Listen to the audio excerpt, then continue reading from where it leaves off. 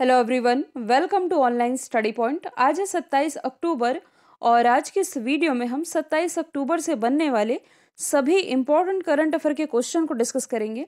Video की यदि आप लोगों को पीडीएफ चाहिए तो आप हमारे इस मोबाइल एप्लीकेशन को इंस्टॉल कर सकते हैं। इसके अलावा मेरे ही द्वारा आप लोगों के लिए world geography plus Indian geography basic से कवर कराई जा रही है तो इसे भी आप परचेस कर सकते हैं। कल हमने क्या क्या डिस्कस किया था कि हाल ही में चाइना के द्वारा सिंजान 21 सैटेलाइट लॉन्च किया गया है अंतरिक्ष मलबे को कम करने के लिए। और 2022 ऑस्कर के लिए भारत की तरफ़ से कुंजगुल फ़िल्म को नॉमिनेट किया गया है। सभी मतदान केंद्रों में डिजिटल मैपिंग के लिए इलेक्शन कमीशन ऑफ़ इंडिया ने गरुड़ मोबाइल एप्लीकेशन लॉन्च किया है। एफएटीएफ ने अभी हाल ही में मॉरिसस और बोत्सवाना को इसकी ग्रे लिस्ट से हटा दिया है। छत्तीसगढ़ गवर्नमेंट के द्वारा धनवंतरी जेनेरिक मेडिकल स्टोर की शुरुआत की गई है। सत्यजीत रे लाइफ टाइम अचीवमेंट अवार्ड से सम्मानित किया गया मार्टिन स्कोरसेस और स्टीवन जाबा को। राइटिंग फॉर माई लाइफ किताब लिखी गई है रस्किन बॉन्ड के द्वारा। गीता गोपीनाथ, जो कि अभी तक आईएमएफ की मुख्य आर्थिक सलाहकार थी, ये जनवरी 2022 में अपना पद छोड़ देंगी। फीफा की रिसेंट रैंकिंग में भारतीय टीम है, एक स्थान पर टॉप पर बेल्जियम है। टी वर्ल्ड कप में पाकिस्तान ने भारत को 10 विकेट से हराया था। स्टार्ट करते हैं आज का हमारा पहला और इम्पोर्टेंट क्वेश्चन हाल ही में प्राइम मिनिस्टर नरेंद्र मोदी ने Pradhan Mantri Ayushman Bharat health infrastructure mission की शुरुआत ये कहाँ से की है? तो इसकी शुरुआत इन्होंने अपने ही निर्वाचन क्षेत्र वाराणसी से की गई है। तो ये जो पूरी योजना थी, ये अभी जो हमारा जो केंद्रीय बजट रहा था, इसमें इसका प्रावधान भी किया गया था 2021-22 के बजट के अंतर्गत। Pradhan Mantri Ayushman Bharat health infrastructure mission वैसे पाँच साल चलने तक वाली ये योजना है, इसके तहत टोटल पैंसठ करोड़ रुपए ये खर्च किए जाएँगे। मतलब कि ये बजट है कि इस मिशन के तहत पैंसठ करोड़ रुपए ये खर्च किए जाएँ। बेसिकली दूर दराज के क्षेत्र में रहने वाले लोगों के लिए सभी तरह की हेल्थ फैसिलिटी कैसी फैसिलिटी अच्छी तरह की हेल्थ फैसिलिटी प्रोवाइड कराने के लिए ये योजना है, जो भी हाल ही में प्राइम मिनिस्टर नरेंद्र मोदी जी के निर्वाचन क्षेत्र वाराणसी से लॉन्च की गई। अच्छा वाराणसी में काशी एक रूप अनेक प्रदर्शनी का उद्घाटन किया गया था। साथ ही आप लोगों ने रुद्राक्ष कन्वेंशन सेंटर, ये भी करंट का टॉपिक रहा है। रुद्राक्ष कन्वेंशन सेंटर का भी उद्घाटन इसी वाराणसी से किया गया। साथ ही ज्ञान व्यापी मस्जिद और काशी विश्वनाथ मंदिर वाला जो मुद्दा था, ये भी वाराणसी से ही रिलेटेड है। यहाँ जो मंडुआ डीह रेलवे स्टेशन था, इसका नाम बदल करके बनारस रेलवे स्टेशन किया गया। ये बेसिक आप लोगों को मालूम है, क्योंकि ये करंट से रिलेटेड है। और उत्तर प्रदेश के बलिया की यदि हम बात करें तो यहाँ प्रधानमंत्री उज्ज्वला योजना की शुरुआत की गई थी। प्रधानमंत्री उज्ज्वला टू पॉइंट ओ, इसकी शुरुआत उत्तर प्रदेश के महोबा से की गई, जबकि उत्तर प्रदेश की राजधानी लखनऊ से। लखनऊ का जो चार बाग रेलवे स्टेशन है, यहाँ से भारत का पहला हेल्थ एटीएम लॉन्च किया गया था।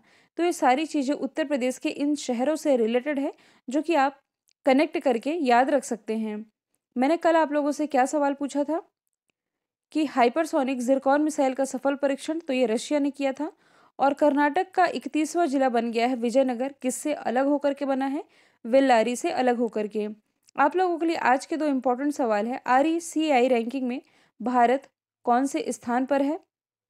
और लाल बहादुर शास्त्री राष्ट्रीय उत्कृष्टता अवार्ड से किसे सम्मानित किया गया? दोनों का आंसर आप लोग कमेंट बॉक्स में बताएँगे। अगला क्वेश्चन है, रक्षा मंत्रालय ने एम के फिफ्टी फोर तारपीड़ो खरीदने के लिए किस देश के साथ समझौता किया है? तो ये समझौता भी हाल ही में भारत और अमेरिका के बीच में किया गया है। तो ये डिफेंस चैप्टर का आप लोगों के लिए क्वेश्चन बन जाता है। ऐसे भी क्वेश्चन एग्ज़ाम में देखने को मिलते हैं। आप कह सकते हैं कि इंडियन नेवी की ताकत को और बढ़ावा देने के लिए भारत के रक्षा मंत्रालय ने अमेरिका के साथ एम के फिफ्टी फोर तारपीड़ो खरीदने का ये जो पूरा डील है, ये कर लिया है। इसके लिए भारत सरकार टोटल 423 करोड़ रुपए ये खर्च करने जा रही है। इसके अलावा, अमेरिका से ही भारत ने एक और विमान खरीदा था, यदि आप लोगों को याद होगा, चिनूक हेलीकॉप्टर अमेरिका की बोइंग कंपनी से खरीदा गया था और ये एज इट इज़ एग्ज़ाम का पार्ट बन चुका है। यदि हम बात करें अमेरिका की तो इसकी कैपिटल है वॉशिंगटन डीसी, करेंसी है यूएस डॉलर, प्रेसिडेंट है जो बाइडन। ये जो कनाडाई शील्ड है, यहाँ दुनिया का सबसे पुराना पानी खोजा गया है, जो अलास्का आप देख रहे हैं ना अलास्का पर किसका अधिकार है? मतलब कि ये जो अलास्का है, ये यूएसए के अंतर्गत आता है। यूएसए का इस पर अधिकार है। और यूएसए और मैक्सिको के बीच में कौन सी नदी है जो कि अंतर्राष्ट्रीय सीमा बनाती है? ये है रियो ग्रैंडे रिवर। जबकि यूएसए और कनाडा के बीच में तो ये है सेंट लॉरेंस रिवर। यहाँ हम बात कर रहे हैं डिफेंस क्षेत्र में हुए हस्ताक्षर की। तो भारत रशिया के बीच में एस फोर हंड्रेड मिसाइल को लेकर के समझौता है। भारत और फ्रांस के बीच में राफेल विमान को लेकर के समझौता है, जबकि बराक एट विमान आप लोगों ने सुना होगा, बराक एट मिसाइल, जो कि भारत और इसराइल के बीच का एक समझौता है। यदि आप फ़र्स्ट टाइम चैनल को विज़िट कर रहे हैं तो चैनल को आप सब्सक्राइब कर लें, साथ ही बेल आइकन दबाना बिल्कुल ना भूलें, ताकि आप लोगों को हमारे सभी नए वीडियो की नोटिफिकेशन सबसे पहले मिल सके। अगला क्वेश्चन है, हाल ही में किस देश में नया शिक्षा कानून पारित किया गया है? तो हाल ही में जो चाइना है, इसके द्वारा एक नया शिक्षा कानून पारित किया गया है। अब ये है क्या? तो आप कह सकते हैं कि शिक्षा के क्षेत्र में बेसिकली यदि देखा जाए तो स्कूलों में जो छोटे बच्चे होते हैं, उन पर जिस हिसाब से सख्ती की जाती है, उनके होमवर्क को करने को लेकर के तो इन सख्ती को कम किया जाए। कहने का मतलब है कि जो चाइना है, ये चाहता है कि इस देश के जो बच्चे हैं, ये मेंटल प्रेशर से दूर रहें यदि आप लोगों को याद होगा तो कुछ समय पहले ही चाइना के द्वारा एक नया प्रस्ताव लाया गया, या आप कह सकते हैं एक नया कानून बनाया गया, जिसके तहत जो बच्चे हैं, हफ़्ते में केवल तीन घंटे ही मोबाइल गेम खेल सकेंगे। हालाँकि वो अलग बात है कि चाइना ने पूरी दुनिया को पबजी की लत लगाई। अब ये चाहते हैं कि इस देश के जो बच्चे हैं, मेंटल प्रेशर से दूर रहें, गेम कम खेलें, और अब इन्हें स्कूलों में भी एक तरह का नियम लागू कर दिया गया है कि यदि बच्चे को होमवर्क पूरा नहीं हो पाया है तो पढ़ाई को लेकर के किसी भी तरह का इन पर दबाव नहीं बनाया जाए। इसके लिए अब इसने एक नया कानून ले आए हैं। चाइना की यदि हम बात करें, capital Beijing, currency, renminbi, president Xi Jinping, ये तो आप लोगों को रटी रटाई चीज़ें हैं।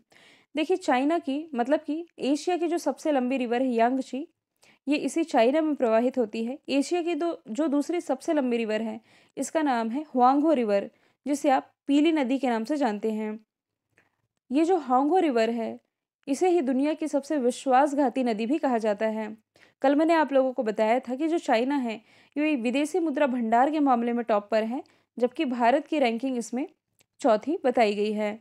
अगला क्वेश्चन है, हाल ही में भारत की पहली राज्य वन्य जीव डीएनए प्रयोगशाला का उद्घाटन कहाँ किया गया? तो इसका उद्घाटन अभी हाल ही में महाराष्ट्र के नागपुर में किया गया है। अब इस क्वेश्चन को आप पढ़िए, लिखा हुआ है, भारत की पहली राज्य वन्य जीव डीएनए परीक्षण प्रयोगशाला। कहने का मतलब है कि ऐसा तो नहीं है कि ये भारत की पहली ऐसी प्रयोगशाला है जिसमें कि वन्य जीवों के डीएनए का टेस्टिंग किया जाएगा।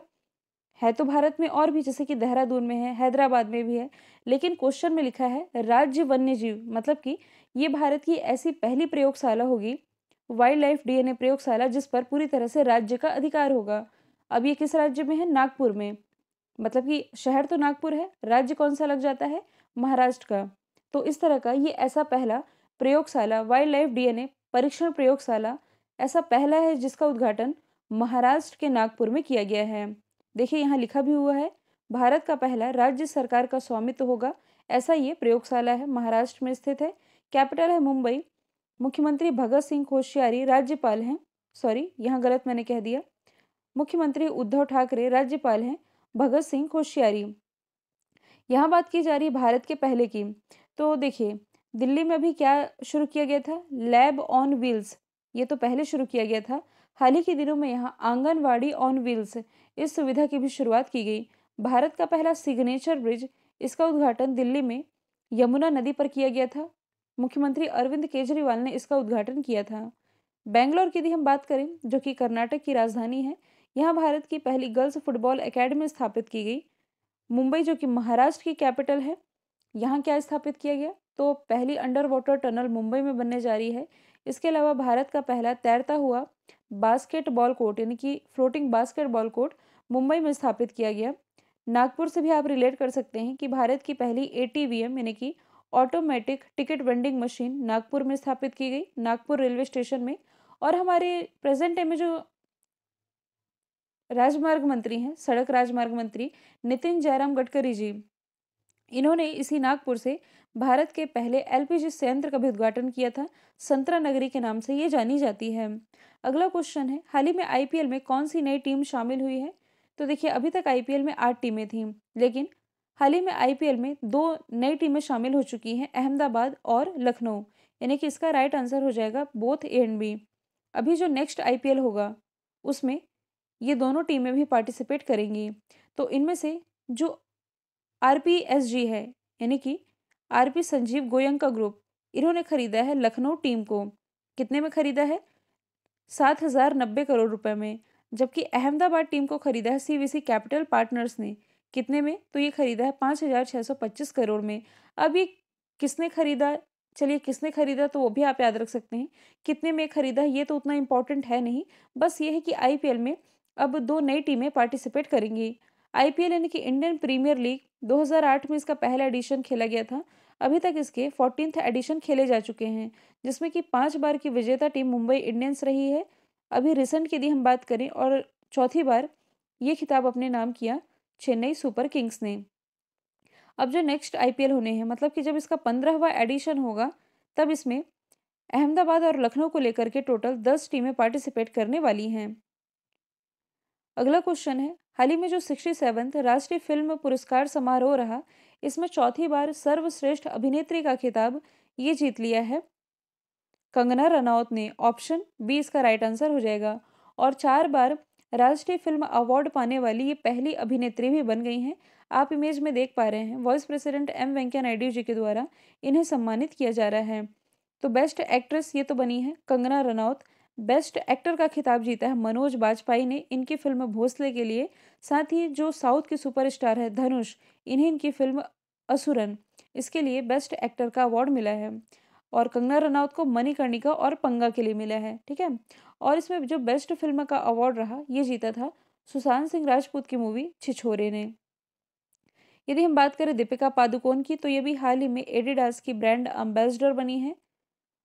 कंगना रनौत के बारे में हमने डिस्कस कर ही लिया। देखिए, उत्तर प्रदेश गवर्नमेंट की जो स्कीम है वन डिस्ट्रिक्ट वन प्रोडक्ट इसकी भी ये ब्रांड एम्बेसडर हाल ही में बनाई गई है।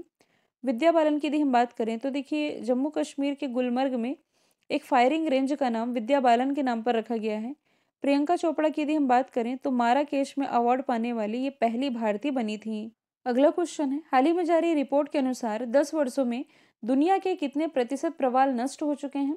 तो हालिया जारी रिपोर्ट के अनुसार पिछले दस वर्षों का ये जो सर्वे रहा था, इसमें यह बताया गया कि 14 परसेंट प्रवाल ये नष्ट हो चुके हैं। अब ऑप्शन में आप लोगों को कहीं भी 14 परसेंट तो नहीं दिखाई दे रहा होगा तो इसे मैं पीडीएफ में मॉडिफाई कर दूँगी। अभी रिसेंटली जो रिपोर्ट जारी की गई है global coral reef monitoring network के द्वारा, इसमें 2009 से लेकर के 2018 के बीच का ये जो सर्वे था इसमें ये बात कही गई कि 14 परसेंट प्रवालों में कमी देखने को मिली है। प्रवाल यानी कि कोरल रीफ, या आप समझते ही होंगे, जो उथला समुद्र होता है, यानी कि जहाँ पानी भरा है, जलमग्न चट्टानों पर जो प्रवाल होते हैं। प्रवाल, या आप जानते ही हो, कंकाल आप कह सकते हैं जली जीवों के कंकाल, वही है प्रवाल। तो प्रवालों के द्वारा जो कैल्शियम कार्बोनेट का स्त्राव, यानी कि छोड़ा जाता है, इसी के द्वारा इसका निर्माण होता है, ठीक है? तो इसका काम क्या है और इनका संरक्षण क्यों ज़रूरी है? तो बेसिकली मैं आप लोगों को बताऊँ तो वर्ल्ड मैप में आप लोगों ने प्रशांत महासागर यानी कि पेसिफिक ओशन की लोकेशन तो देखी ही होगी। तो बेसिकली ये जो कोरल रीफ है, ये दक्षिणी प्रशांत महासागर में पाए जाते हैं।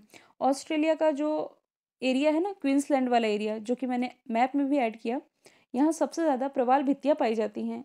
अब इनका काम क्या है? तो देखिए पहली बात तो ये कि यहाँ बायोडाइवर्सिटी यानी कि जैव विविधता प्रचुर मात्रा में होती है, इसलिए इन्हें महासागरों का वर्षावन भी कहते हैं। दूसरी बात यह है कि जो चक्रवात आते हैं, मान लीजिए ऑस्ट्रेलिया के तट पर किसी तरह का चक्रवात आना है तो इन चक्रवाती प्रभावों से भी ये समुद्र तट की रक्षा करते हैं, ठीक है? तो इसी के कारण ये चर्चे में आया है कि 14 परसेंट की कमी देखने को मिल रही है प्रवाल भित्तियों में।